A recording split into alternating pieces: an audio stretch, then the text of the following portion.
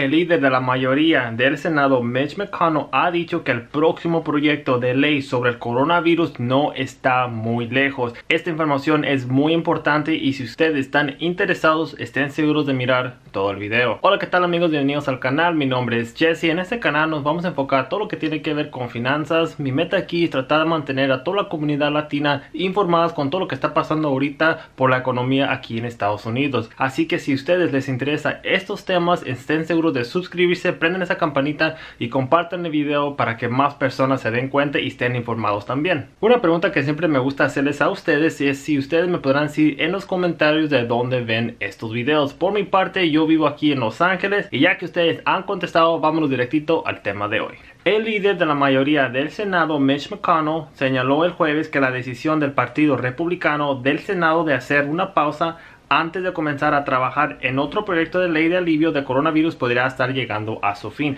Esto es algo muy muy positivo y muy bueno que ya ha dicho esto y la razón es porque muchos de los republicanos en el Senado están incluyendo Mitch McConnell estaban diciendo que ellos querían tener una pausa antes de estar hablando o tratar de sacar otro alivio para ayudar a la economía y a la gente aquí en Estados Unidos. Pero lo bueno con lo que ha dicho básicamente está diciendo que eso está llegando a su fin y ya será tiempo ahorita para tratar de otra vez abrir las pláticas para tratar de sacar otro paquete de alivio y se ha dicho que ellos van a empezar a sacar más ayuda después de este fin de semana. Creo que existe una alta probabilidad que hagamos otro paquete de rescate. No estamos del todo listos para dar el siguiente paso de manera inteligente, pero no está muy lejos. Necesitamos trabajar de manera inteligente aquí, ayudar a las personas que lo necesitan desesperadamente, tratar de salvar tantos empleos como sea posible y comenzar a abrir los estados que son decisiones de los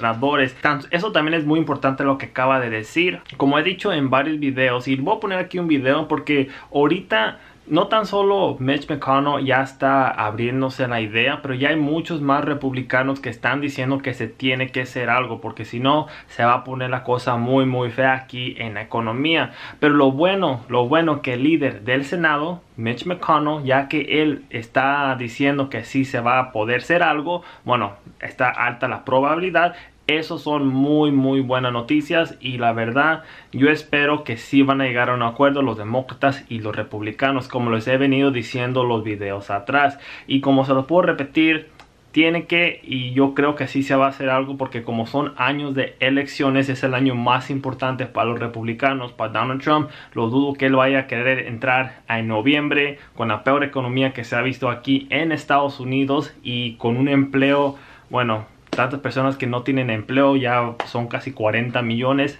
lo dudo que vayan a tratar de entrar sin tratar de ayudar a la gente. Pero lo que ha dicho también siguiente sobre esta información es muy importante porque ahorita lo que voy a mencionar, él habló sobre el paquete que fue presentado de los demócratas y él ha dicho lo siguiente. McConnell dijo durante la entrevista de Fox News que el próximo proyecto de ley no parecería a un proyecto de ley aproximadamente de 3 trillones de dólares que pasó la Cámara de Representantes la semana pasada y prometió que los republicanos de la Casa y el Senado estarán en la misma página. Como se los he dicho amigos, todo esto como fue presentado por los demócratas, los republicanos ahora en el Senado tienen que editarlo, tienen que modificar ese paquete para que les convenga a los dos lados. Eso es algo que se los he venido diciendo desde hace ya varios videos y casi casi lo ha confirmado aquí.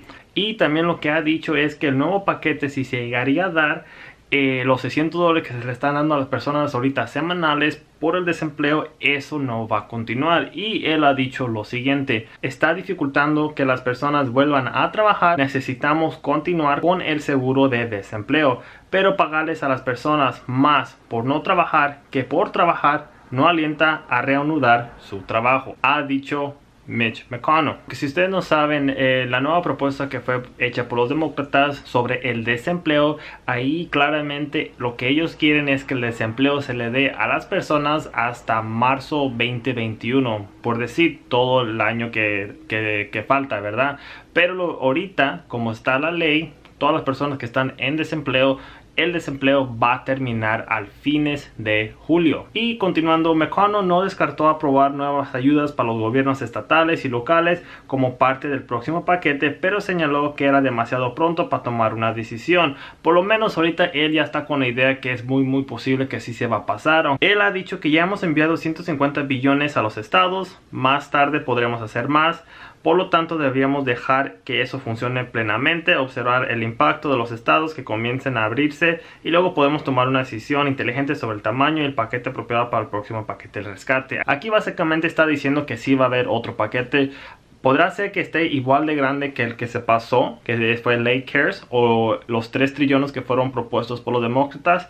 A lo mejor no, a lo mejor va a ser un poco menos, pero a lo que está diciendo, a lo que está insinuando es que sí va a haber otro paquete de ayuda. Solo lo que tenemos que hacer ahorita nosotros es esperar a ver qué más información sale. Pero no se preocupen amigos, yo aquí estoy para mantenerlos a todos ustedes informados con todo lo que está pasando y siendo transparente yo les voy a traer noticias que son positivas, noticias que son negativas, pero eso lo hago para que ustedes vean todo el plano y lo vean todo objetivamente y puedan analizar las cosas de los dos lados, ¿verdad?